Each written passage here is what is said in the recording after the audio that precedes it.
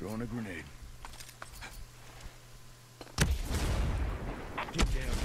What the flip? So you do know where I'm at.